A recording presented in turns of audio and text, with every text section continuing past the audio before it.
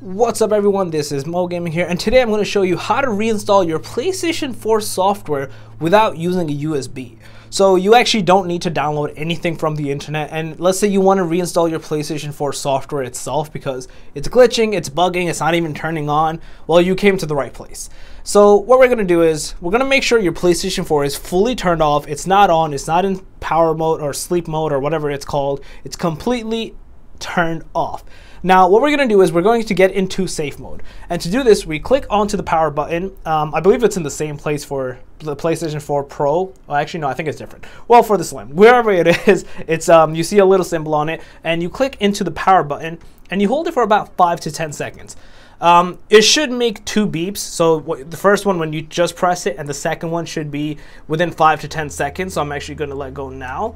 My PlayStation 4 has been acting up. This is an old PlayStation 4. It doesn't make two beeps for some reason, but I time myself internally on when I should basically let go. Now, the important factor, what a lot of people have been commenting under my videos and not getting is you need to have an authentic wire, or at least a wire that's being read by the PlayStation 4, a USB cable connected to your controller. You cannot connect via Bluetooth like how you normally do with your PlayStation 4. It has to be via the wire itself. And if it doesn't work, please try a different controller or a different wire. It's either or is messed up. If it's the wire, there's a link in the description below. You can get this authentic wire. It works. If not, try a different controller. There's a lot of lying, lying around wires in your house. Check it out. Borrow one from a friend. Try something. So once you have it connected, you press the home button. And the other thing, just an FYI, the analog stick does not work here. It has to be the D-pad. A lot of people get to the screen and they're like, I can't move. You gotta use the D-pad. The analog sticks do not work. Cool.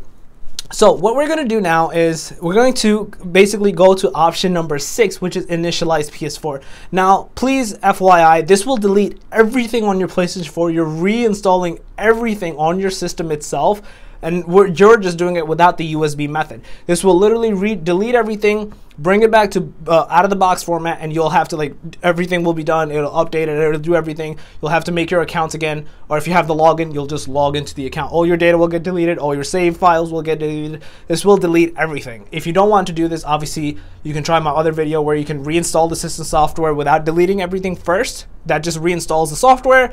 Um, it, it, may or may not resolve any issues or errors that you're happening, but this is supposed to be like a clean, fresh wipe to basically get rid of any corruption possible. This should be like last step if necessary. If not, I would highly advise you to not do this, if especially if you don't want to lose your data.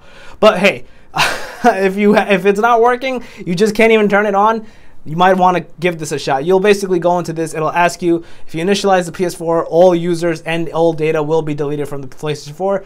Are you sure you want to continue? You press yes, you go to the next screens, and then, yeah, everything then gets deleted. Um, so yeah, this is basically how you uh, reinstall your PlayStation 4 system software without using a USB device. Um, if you guys have any comments, questions, concerns, please let me know in the comment section below. More than happy to help you. Please let me know if you have any errors or issues that are coming up. Uh, more than happy to like guide you and like help you guys figure out how to like resolve any issues or errors. If you have any, um, and yeah, just let me know. If you overall like the video, please smash that like button. It helps a lot. If you are new to the channel, make sure to subscribe and click that notification bell. Other than that, Moe Gaming out. Peace.